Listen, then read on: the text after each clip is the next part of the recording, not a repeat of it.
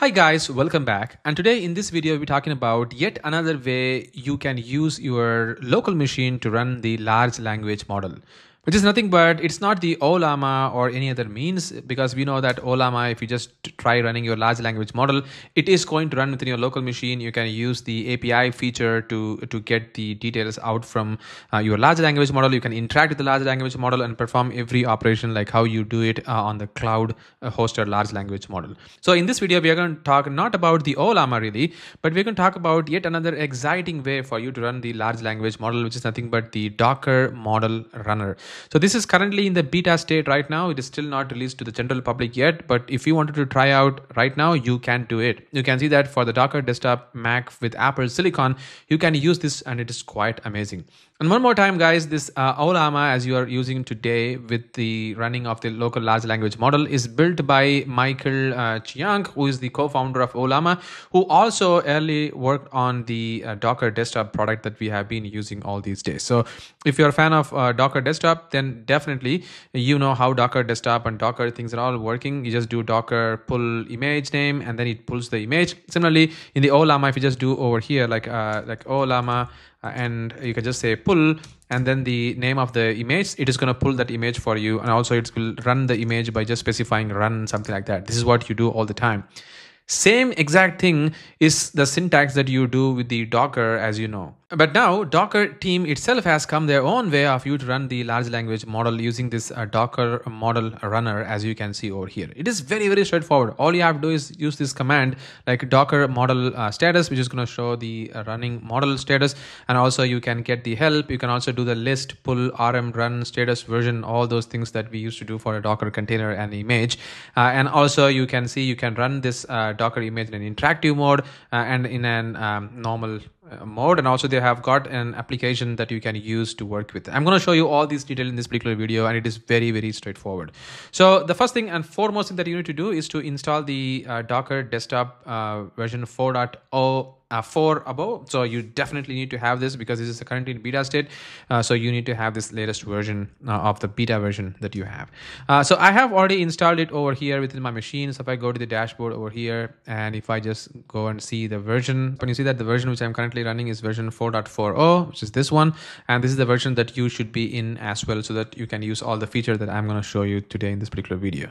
Uh, so if i go to the terminal over here because i have already installed it and the way you can actually work with different model is there is uh, a model hub as well like pretty much like the docker hub which has all the container images.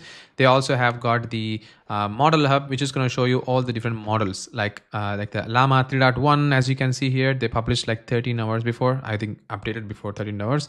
And there is this llama 3.3 uh, sm uh, small uh, m2 uh, and then there is these models and there are so many different models. I think it's not a lot of models pretty much like Ollama has, but they are still evolving right now and uh, soon enough there will be a lot of models I'm sure. So I'm going to run the most smallest model which is very responsive model which is this one, the AI uh, SmolLM2 model. The way that you do it is just docker model pull AI uh, small m2 and this is going to download the model for you. And you see that the category is gen ai and this is from the hugging face model and it is the architecture of the llama and it has got 8k uh, tokens uh, and you can see that it supports 360 million parameters which is not bad really. Uh, i'm gonna go over here and i'm gonna paste that and if i hit enter you will notice that it is going to go and pull the model and it has successfully pulled it and it is sitting over here for me. So once we have the model, if you just go to the documentation over here, uh, you can just do all these things. So you can just say docker uh, model uh, and then the model name, which is going to be, so you can just do a docker model uh, list is going to show you all the different model which is currently sitting uh, within my machine over here. Uh, and you can also uh, do docker model inspect uh, and you can specify the name of the model that you want to inspect to.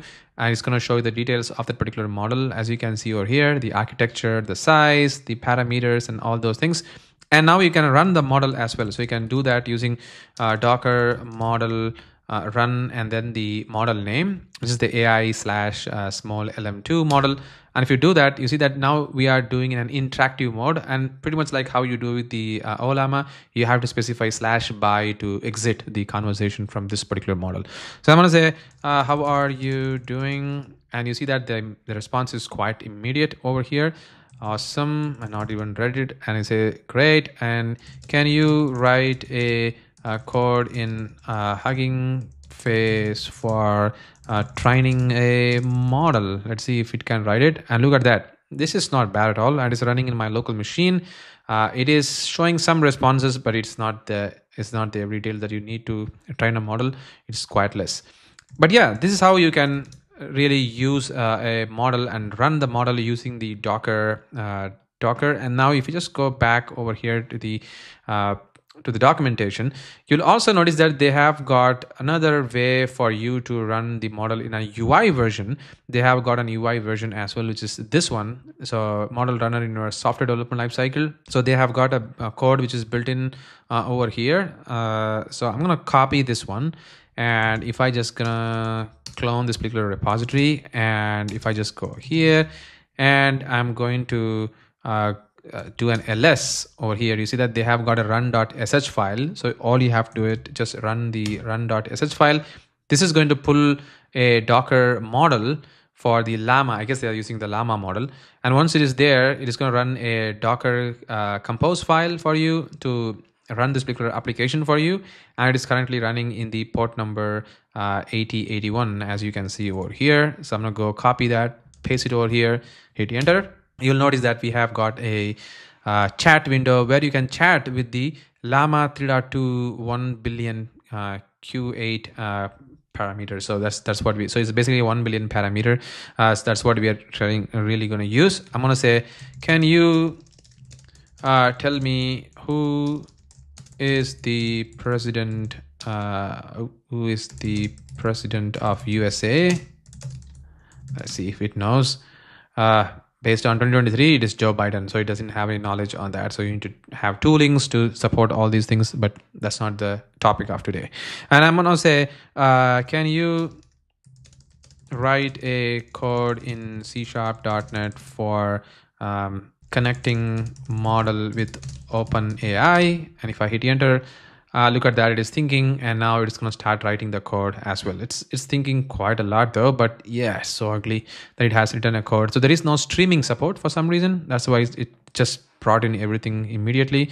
Probably this particular um, this ui needs to have a lot of change. But this is kind of a uh, like a preview version of uh, how you can interact with this particular model. They just have shown like how you can do it. But you can also write your own code uh, which they have got the details as you can see over here. You can use these kinds of uh, uh, endpoints to interact with the uh, Docker uh, desktops model, and then you can uh, you can send this message, and you can specify the role and the content. See that these things are quite similar to the uh, OpenAI library that we have got to interact with the uh, with the models.